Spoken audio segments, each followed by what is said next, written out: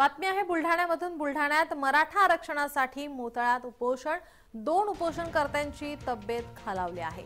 दोघांनाही तातडीने मोताळा येथील ग्रामीण रुग्णालयात उपचारासाठी दाखल करण्यात आला आहे. मराठा आरक्षणासाठी उपोषण करण्यात येत आहे. यावेळी दोन उपोषणकर्त्यांची तब्येत ही खालावली आहे. त्यांना रुग्णालयामध्ये दाखल करण्यात आला आहे. ग्रामीण रुग्णालयामध्ये त्यांच्यावर उपचार सध्या सुरू आहेत. मराठा आरक्षणासाठी बुलढाण्यातील मोताळ्यात या ठिकाणी उपोषण करण्यात येत होतं. यावेळी दोन उपोषणकर्त्यांची तब्येत ही खालावली आहे. त्यांना ग्रामीण रुग्णालयामध्ये उपचारासाठी दाखल करण्यात आलंय. मराठा आरक्षणासाठी मराठा समाज हा आपण राज्यभरामध्ये ठिकठिकाणी आक्रमक झालेला पाहायला मिळतोय. यावेळी मराठा आरक्षणासाठी बुलढाण्यातील मोताळ्यात उपोषण करण्यात येत होतं. मात्र यावेळी या उपोषणकर्त्यांची तब्येत ही खालावली आहे. दोन उपोषणकर्त्यांची तब्येत खालावल्याची माहिती सध्या समोर येते सध्या त्यांना उपचारासाठी ग्रामीण रुग्णालयामध्ये दाखल करण्यात आलाय.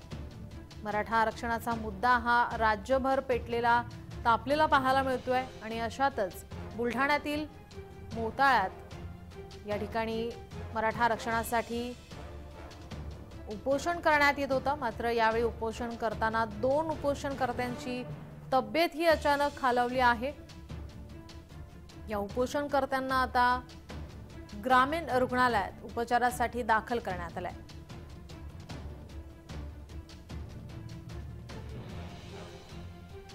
मराठा आरक्षणासाठी उपोषण हे करण्यात येत होतं. यावेळी अनेक मराठा बांधव उपोषण करताना पाहायला मिळाले. मात्र यावेळी उपोषण करतावेळी दोन उपोषणकर्त्यांची ही प्रकृती खालावली आहे.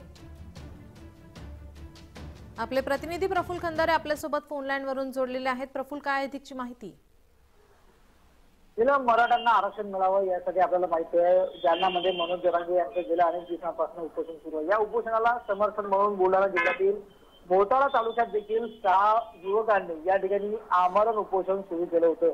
आज चार दिवस झाले आणि चौथ्या दिवशी या सहा उपोषणकर्त्यांपैकी दोन उपोषणकर्ते त्यांपैकी शुभम गोंगटे आणि निलेश सोनुले नामक या युवकांची प्रकृती खालावलेली आहे. त्यांना तात्काळ त्या ठिकाणी अँब्युलन्सच्या माध्यमातून मोताळा येथील ग्रामीण रुग्णालयामध्ये उपचारार्थ दाखल करण्यात आलेला आहे. मात्र जोपर्यंत मराठा समाजाला आरक्षण मिळणार नाही तोपर्यंत आपलं उपोषण मागे घेणार नाही असा पवित्रा या युवकांनी देखील घेतलेला आहे. एकीकडे राज्य सरकारला मनोज जरांगे हे वेटी धरत असल्याचा प्रकार आपल्याला पाहायला मिळतो. त्या दुसऱ्या बाजूला ज्या पद्धतीनं मनोज जरांगेचं उपोषण सुरू आहे त्याला कुठेतरी समर्थन देत मराठ्यांना आरक्षण मिळावं यासाठी मराठा समाजातील इतर लोकही आता ठिकठिकाणी उपोषण करू लागलेले आहेत.